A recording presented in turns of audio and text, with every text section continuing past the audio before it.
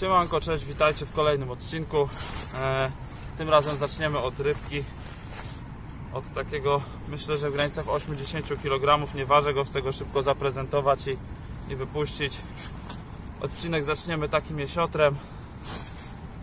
Ciekawe, czy da się w ogóle pokazać, bo taki żwawy.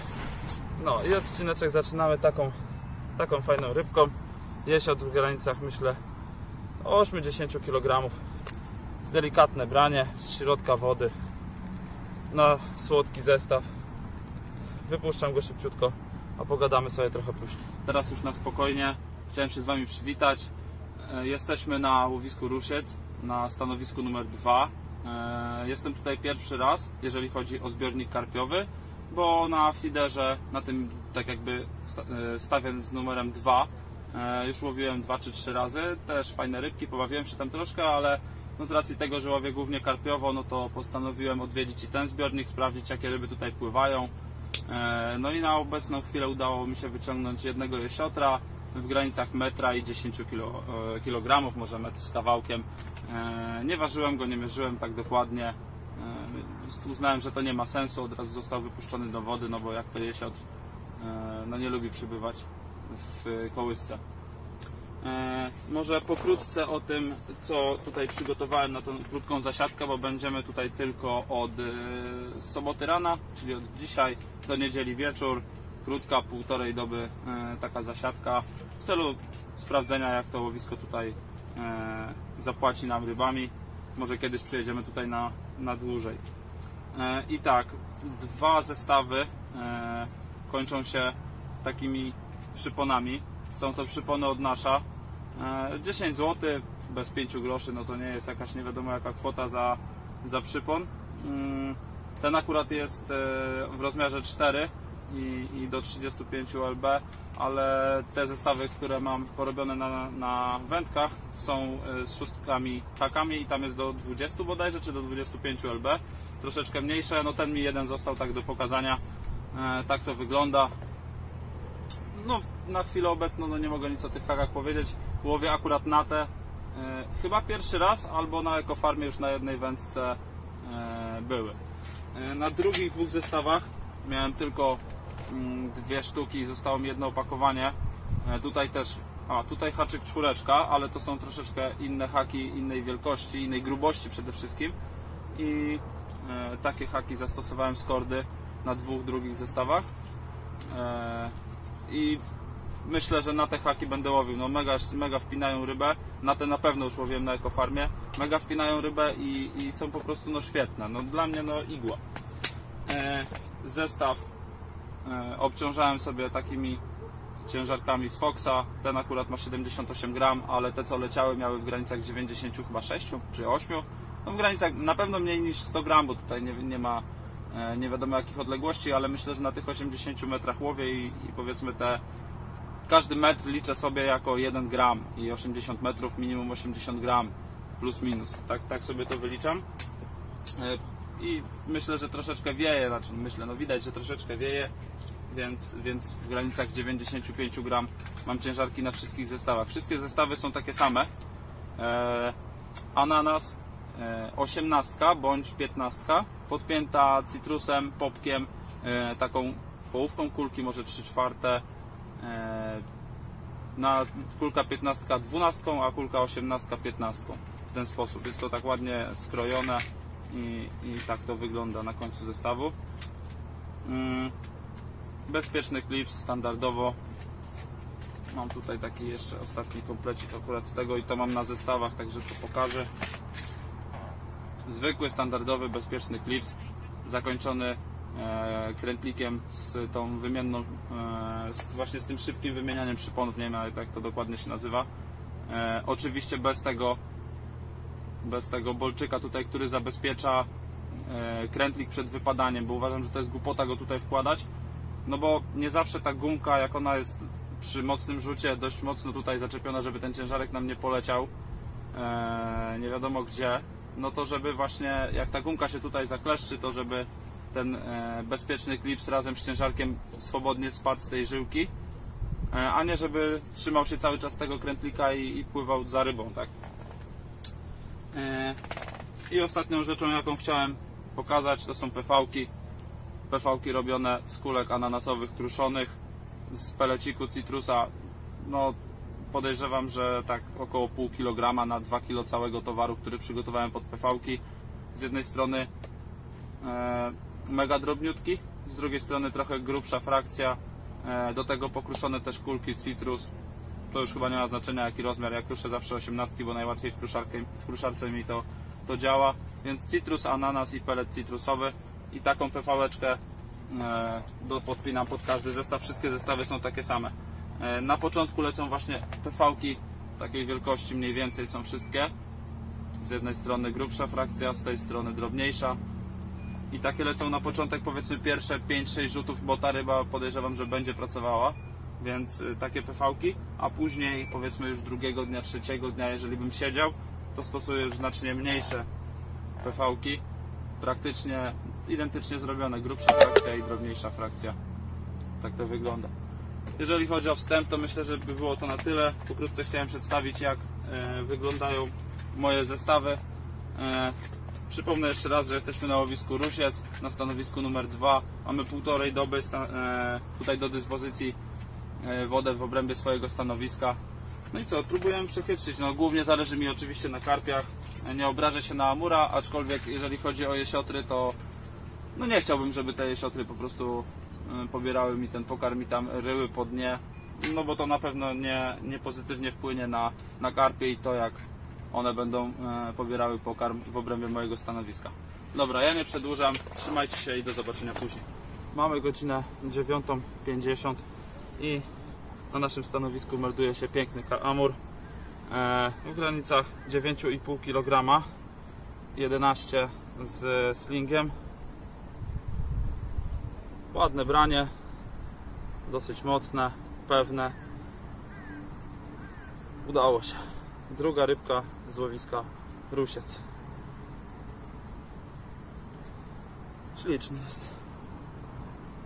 Nie powalczył za mocno, nawet przy brzegu, aczkolwiek no z podbieraka wyskoczył, ale to cały hol trwał może 4 minuty.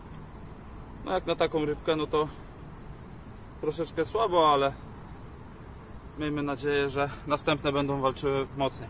Dobra, wypuszczamy go i zestaw leci do wody. Kolejna rybka w granicach 6-7 kg. Tym razem wreszcie karpik. Pierwszy z łowiska karpiowego na Ruścu. Piękna rybka, naprawdę waleczna. Udało się ją tutaj wyholować. I znowu dosłownie pół godziny trafiliśmy chyba na, na żerowanie akurat na naszym stanowisku, bo nie widzę, żeby tutaj ktoś coś holował, a My już mamy trzecią rybkę w przeciągu powiedzmy 3 godzin, także jest świetnie. Rybka pobrała na to, co na co łowię w tym roku najczęściej, na co mam najlepsze efekty, czyli przynęty od nasza, citrus i ananas. E, 18 kuleczka ananasowa i 15 citrus delikatnie ścięta, żeby to ładnie wyglądało. Z małą PV-eczką około 6-7 cm, jak na e, no, letnią porę, bez nęcenia, bez spomba, bez niczego, po prostu goły zestaw z PV-ką i te rybki nam wchodzą, żerują. Także jest świetnie, wypuszczamy gada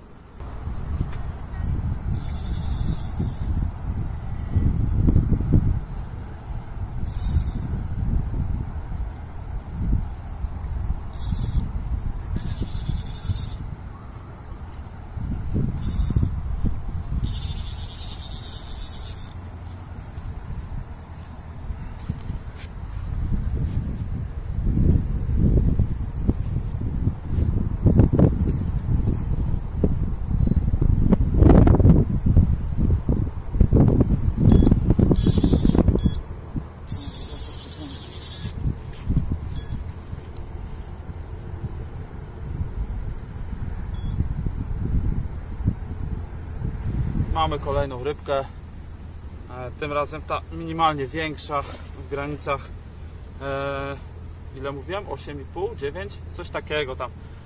10800 ze slingiem, także no ja nie ważę też takich ryb dokładnie. W granicach 8,5 kg przyjmijmy i tyle. Dosłownie 20 minut po wypuszczeniu tamtego karpia kolejny, kolejna rybka, fajna rola.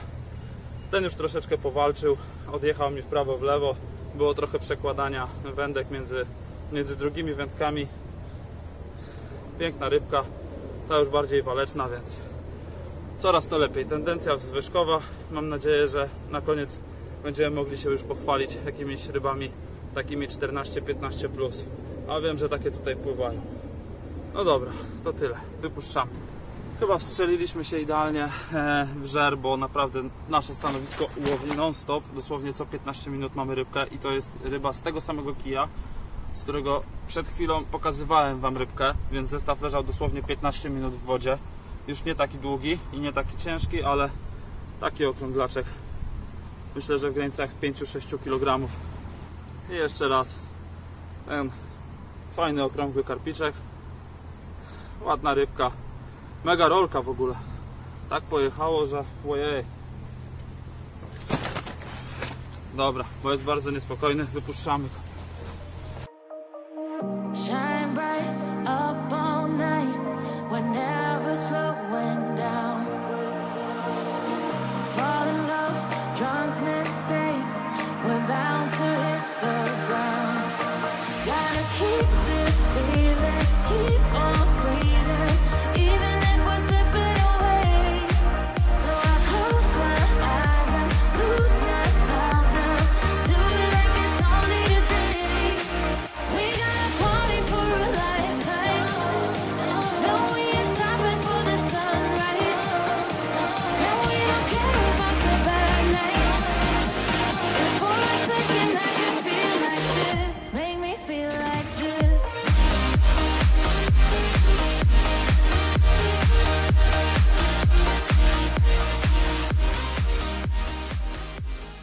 Nasze stanowisko odwiedza kolejny karpik.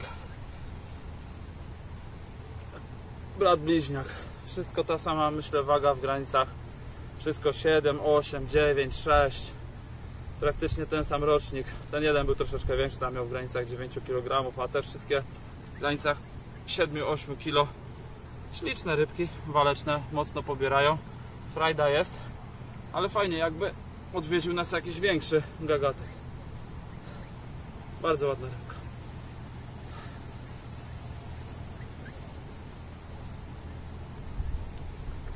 Dobra. Woda. Kolejna rybeczka. E, I warto zaznaczyć przy niej, że mamy zakład z Izą. Jeżeli wyciągnę 20, to jedziemy do domu od razu, a jak wyciągnę 15, to jutro z samego rana. Kolejna rybka z łowiska Ruszczycy.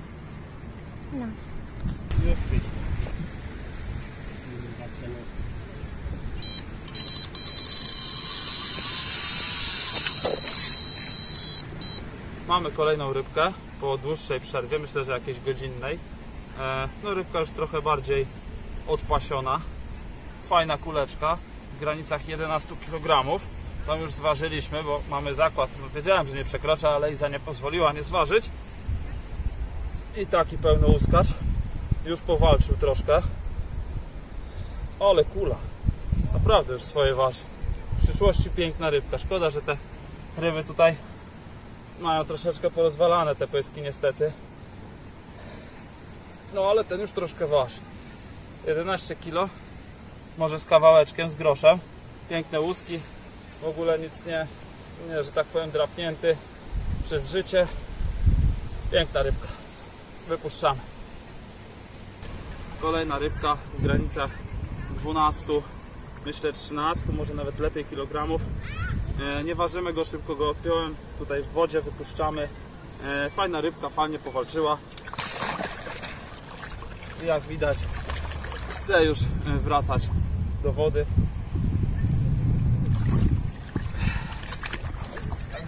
Jeszcze raz i wraca.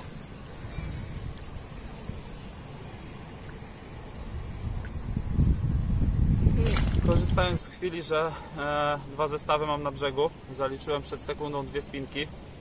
E, nie jestem w stanie określić, jakie to były ryby. Czy to były jesiotry, czy, czy karpie, czy amury. E, żadna z ryb nie szła do brzegu.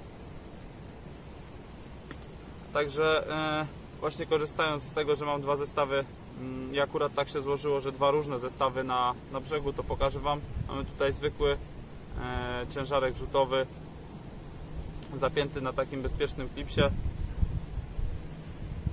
E, Swobodnie ta gumka tutaj ma spadać i co najważniejsze, ten bezpieczny klips tutaj nie jest niczym przytwierdzony. To jest po prostu wsadzone w to i nic więcej.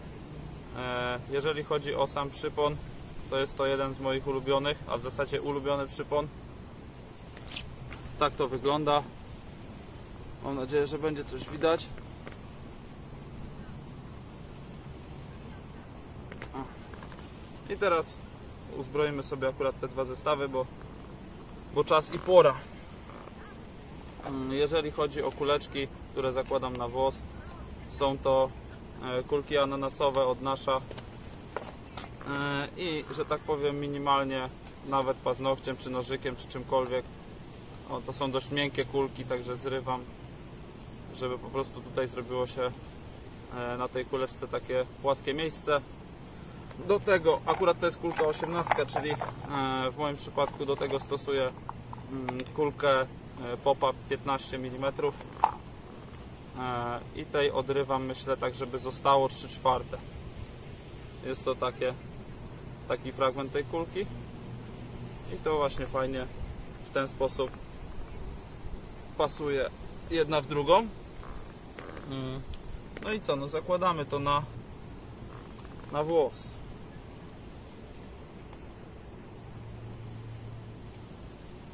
Jedna kulka,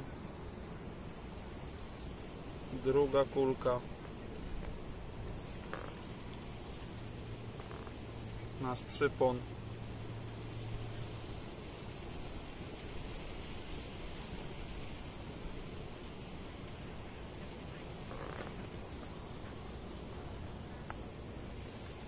Jeżeli chodzi o moje zestawy, to lubię mieć odsunięte kulki od e, haka dość znacznie. Myślę, że w granicach 2,5 cm. To jest takie minimum. Dlatego moje zestawy wyglądają tak. Nie lubię, gdy ta przynęta jest nawet te pół centymetra czy centymetr, czy nawet najgorsze chyba co może być, że ona dolega do haka. To jest dla mnie coś fatalnego.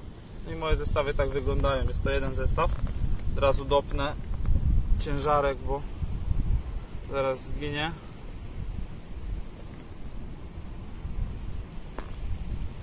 I tą gumkę też, znaczy gumkę, tą, tą no gumkę delikatnie na to, żeby ona tutaj swobodnie mogła spaść. E, w razie co, gdyby coś się stało z zestawem, ta żyłka by nie wytrzymała. I ten krętlik do rzutu trochę wsadzony też, żeby on tutaj elegancko od razu wyszedł. Tak wygląda cały zestaw. Tyle w temacie. Na to wjeżdżają nam rybki. I drugi zestaw z drugiej wędki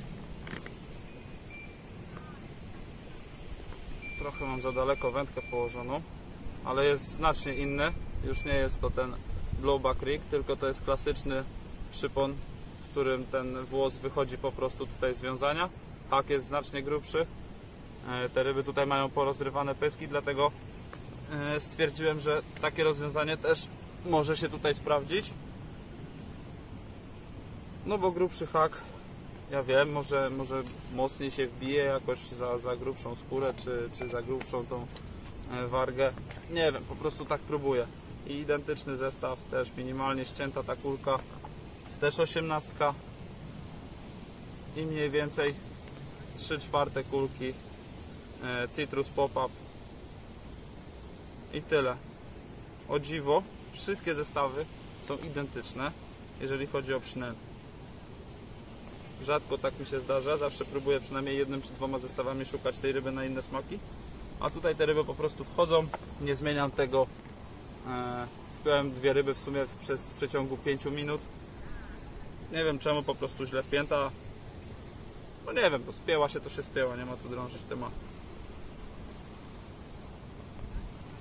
No i tak wygląda drugi zestaw, również odsunięty te dwa, minimum 2 cm od, od haka, żeby ta przynęta mogła swobodnie sobie tam w pysku pracować a, i żeby nie wypinała nam haka.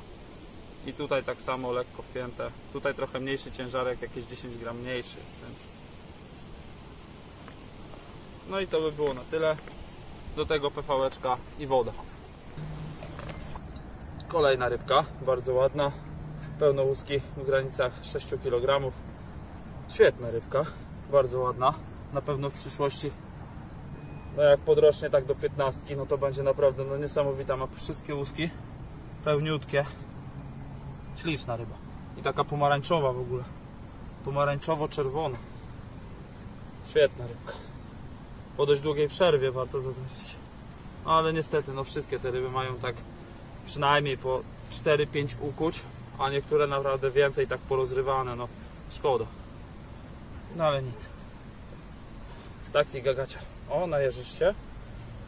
O, jak ładnie. Dobra, do wody.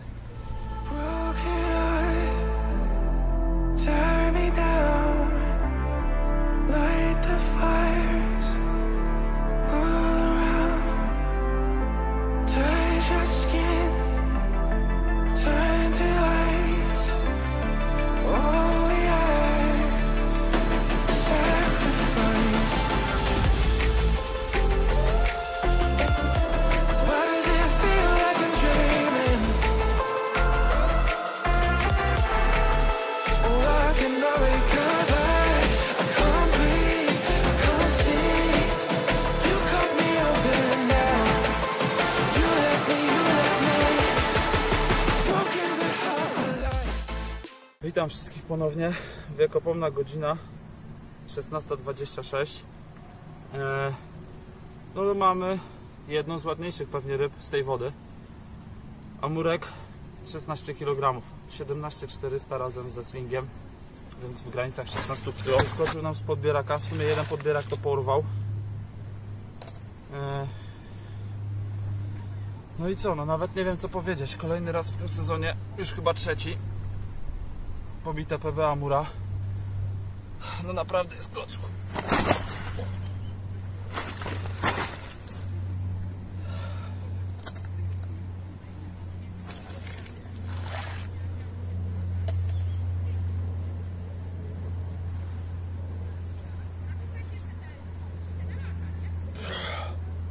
O. Ale machina. Jaki bebrz. Ale ma brzunio. Ale torpeda. Urwał podbierak. Witamy wszystkich e, o godzinie 1.48. Doczekaliśmy się pierwszej rybki z nocy. Mocne wranie. W sumie tak się stało, że akurat nie spaliśmy, bo troszeczkę dopompowywaliśmy materac, bo chyba uchodzi nam powietrze z niego. E, i przy okazji udało się takiego łuskacza pięknego wyciągnąć. Myślę w granicach 8,5 kg. Śliczna rybka. No ale jest noc, nie będziemy tutaj przetrzymywać tej rybki, jak i żadnej innej, e, ani do zdjęć, ani do e, jakiejkolwiek tutaj prezentacji. Szybko tutaj przy lampie e, w nocy. Taki łuskacz. Kolejna ryba na naszym stanowisku. Ten sam rocznik praktycznie. Czekamy na jakąś perełkę już. Dobra, wraca do wody. Słuchajcie, mamy godzinę 6 rano. 6, teraz już w zasadzie 30. E, ale branie nastąpiło myślę, że w granicach 6.10, 6.15. E, No udało się złowić rybkę już pokaźniejszych rozmiarów rozmiarów i mega niegrzeczną. Nie wiem, czy uda mi się tutaj ładnie zaprezentować. E, rybka waży 16600 razem ze slingiem, więc w granicach 14700 15 kg. Zaraz zważymy slinga jeszcze raz dla pewności. No ale jak rybka już waży powiedzmy pod te 15 kg, no to i ta walka i, i w ogóle no pokaźność tej ryby od razu jest całkowicie inna cały goły. Cały goły.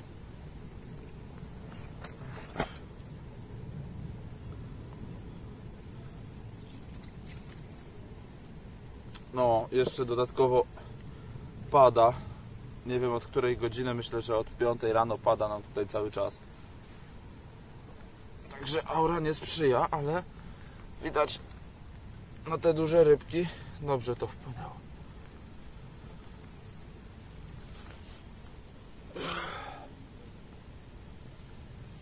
Śliczna ryba.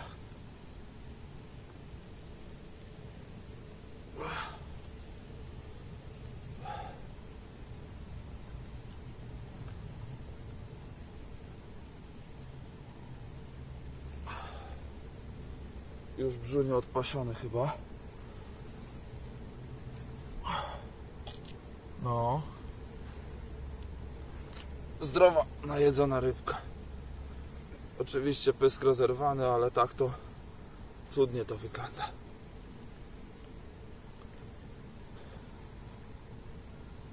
Pogoda nam się troszeczkę zmieniła. E, mamy już godzinę 10 e, w niedzielę.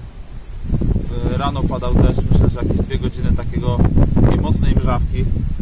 Teraz cały czas wieje, jest mocno pochmurno, nie ma słońca, jest duża fala na zbiorniku.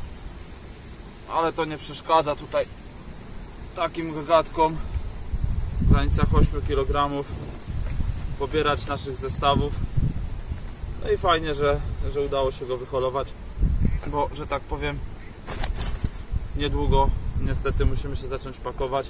Nie chcę też, żebyśmy trafili na e, deszcz podczas tutaj już pakowania tego całego naszego Majdanu, bo, bo będzie po prostu mokry i ale jest wariat.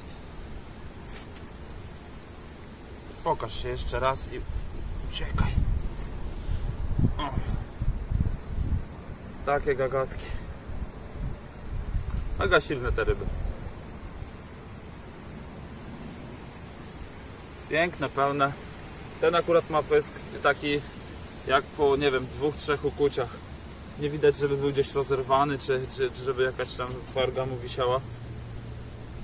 No tamte poprzednie naprawdę porozpierdzielane strasznie te pyski. Ten już taki w miarę.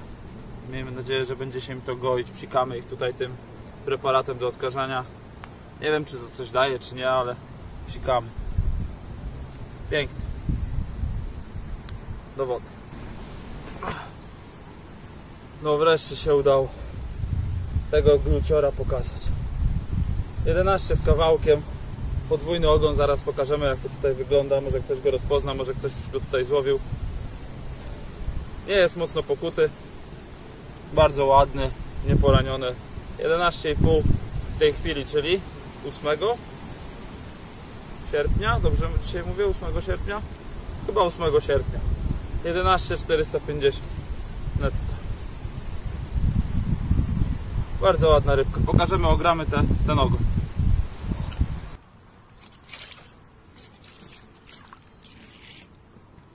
Zobaczcie.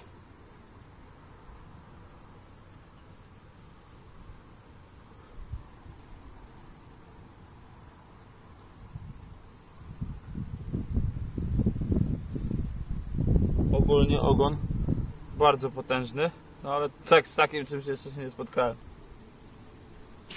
No i siemanko, witajcie ponownie. Mamy już zakończenie mm, całego naszego wyjazdu i pobytu na łowisku Rusiec. Udało nam się złowić bodajże 15 czy 16 ryb, już dokładnie nie pamiętam.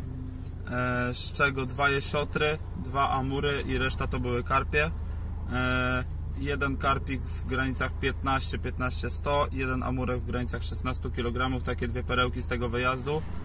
E, reszta karpi w granicy myślę, że od 6,5-7 tak do, do 11. E, Z reguły to były karpie o wadze 9 kg plus minus.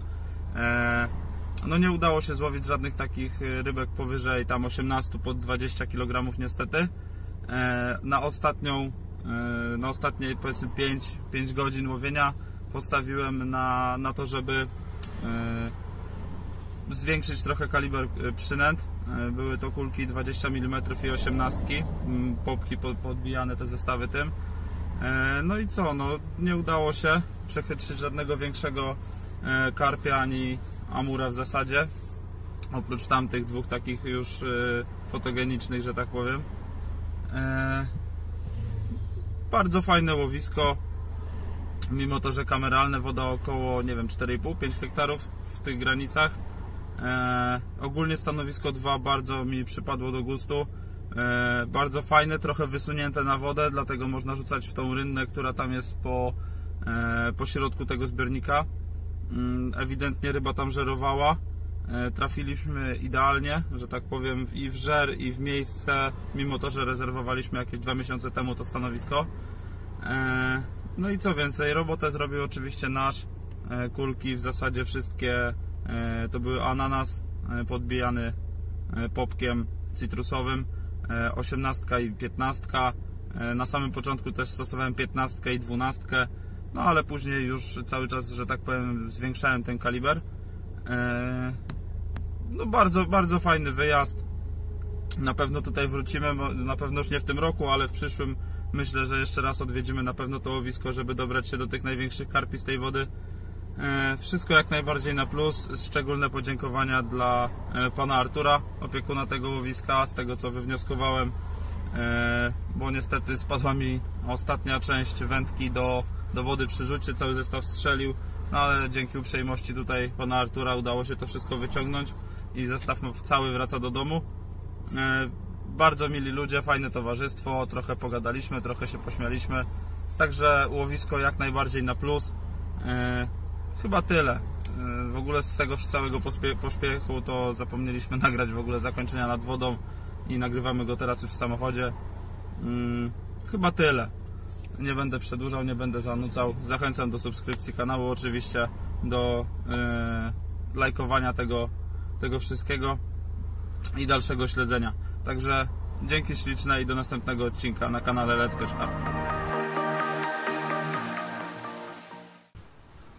Odwiedził nas gołąb i to podobno o imieniu Franek. Ma niebieską obrączkę.